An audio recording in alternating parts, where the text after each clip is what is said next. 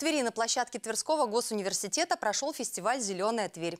Участниками необычного мероприятия стали более 30 человек. Это эко-волонтеры, студенты, школьники, а также жители города. Главная миссия фестиваля – формирование у молодежи экокультуры в нашем регионе, а также повышение экологической грамотности. Молодые люди принимали активное участие в викторине, интересовались различными вопросами экологии.